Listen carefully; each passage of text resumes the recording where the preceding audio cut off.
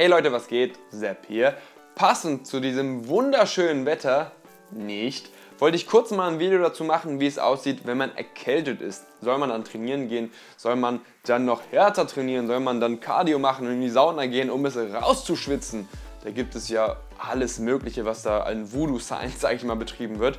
Aber ganz kurz, Training bei Erkältung. Zunächst einmal sei ganz klar gesagt, wenn du, ja genau du, wenn du das nicht einschätzen kannst und krank bist und gerade das Video dir anschaust, dann solltest du definitiv zu Hause bleiben und nicht trainieren. Wie bei fast allem im Leben, außer vielleicht bei der Liebe oder sonstiges, sollte man definitiv eine Kosten-Nutzen-Tabelle aufstellen. Wenigstens im Kopf. Dann schreibt man eben links den Nutzen und rechts die Kosten, wobei bei den Kosten auch mögliche Risiken einkalkuliert werden müssen. Machen wir doch einfach mal diese kleine Kosten-Nutzen-Tabelle.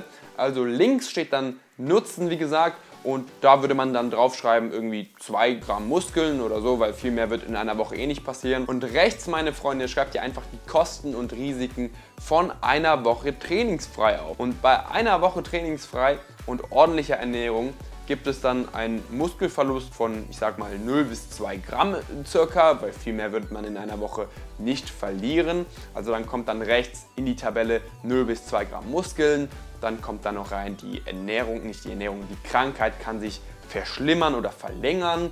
Dann kommt noch, ja, die Workouts werden wahrscheinlich nicht gut sein und mh, mm, der Tod.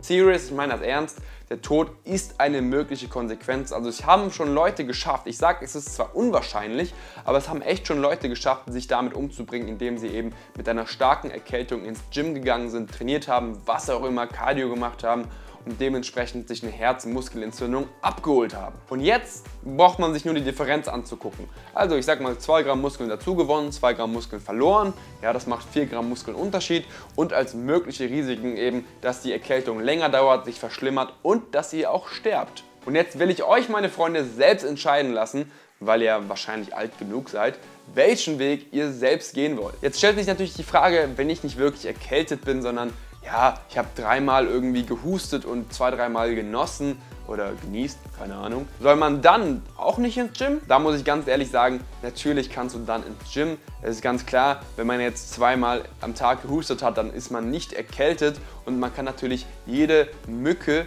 zum Elefanten machen und das soll man definitiv nicht machen. Ich bin der Meinung, wenn man eben sich fit fühlt, wenn man sich fresh fühlt, wenn man jetzt nicht übelst die Anzeichen hat, dass man erkältet ist, dann kann man auch definitiv ins Gym gehen. Wenn der Körper natürlich merkt, hey, das war too much, dann wird er euch das definitiv sagen. Wenn ihr euch ausgelaugt, schwach und sonstiges fühlt und das nicht üblich ist, dann solltet ihr definitiv nicht ins Gym gehen. Wenn ihr euch aber natürlich fresh fühlt, dann spricht doch nichts dagegen, ins Gym zu gehen und alles zu geben. Also, um es zusammenzufassen, wenn du krank bist oder dir nicht sicher, dann solltest du definitiv zu Hause bleiben. Für alle anderen, ihr könnt natürlich ins Gym gehen, man soll nicht alles übertreiben. Zum Schluss, wer mit Antibiotika und sonstigem rumhantiert, der sollte definitiv den Rat eines Arztes aufsuchen und sich nicht im Internet über sowas erkundigen. In der Regel gilt, wenn man zum Beispiel sieben Tage Antibiotika genommen hat, dann soll man natürlich die sieben Tage pausieren plus den gleichen Zeitraum der Einnahme, in dem Fall natürlich weitere sieben Tage bis man wieder einsteigen kann. Das war's auch schon mit dem Video. Falls euch das Video gefallen hat, dann gebt mir doch einen Daumen hoch, kommentiert mit euren Fragen und ansonsten